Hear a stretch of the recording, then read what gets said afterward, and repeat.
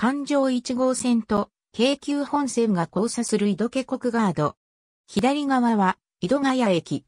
井戸家国は神奈川県横浜市南区の地名。現在、井戸家国のつく、町邸は井戸家谷上町、井戸家谷中町、井戸家国下町があり、いずれも、家は大文字で表記する。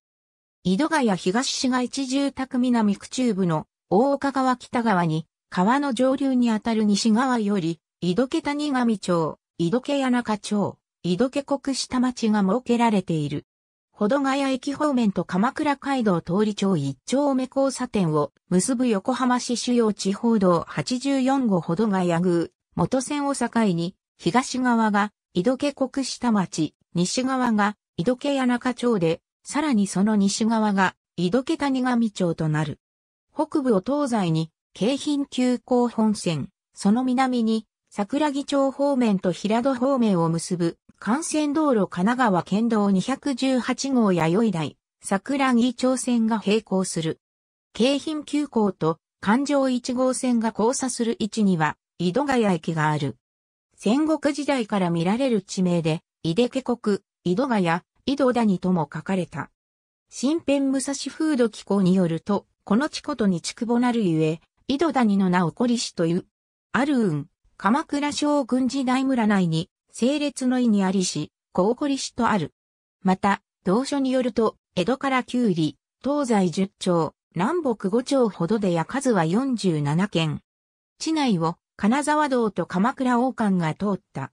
大岡川支流の長田川、六川に挟まれた低地に位置し、引っ越し村のため池からの農業用水も利用できたことから水利に恵まれ、水田が多く作られた。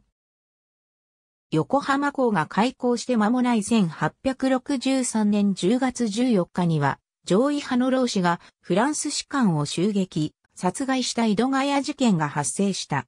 1889年4月1日、井戸ヶ谷村とその周辺の堀之内村、牧田村、下大岡村、上大岡村、広明寺村、長田村、引越村、中里村、別所村、斎藤村、久保村が合併して、倉木郡大岡川村が成立し、井戸ヶ谷はその大技となる。1891年には、鳥山肥料第一工場、1911年には、豊高製場などができた。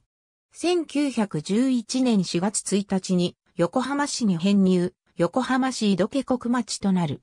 鎌倉街道沿いは、古くから発展していたが、大岡川で隔てられていたため、大正時代までは農村風景が広がっていた。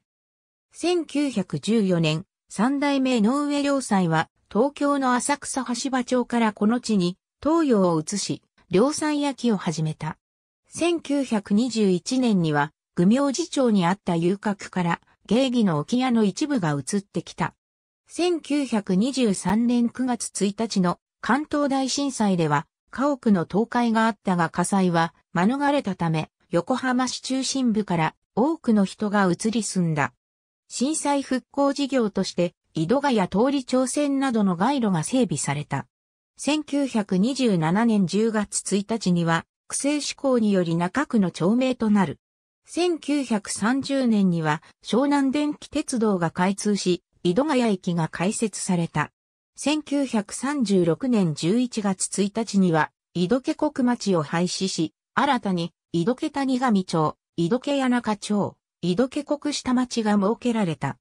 先山町は、1943年12月1日に、中区から南区が分区したことに伴い、南区に編入された。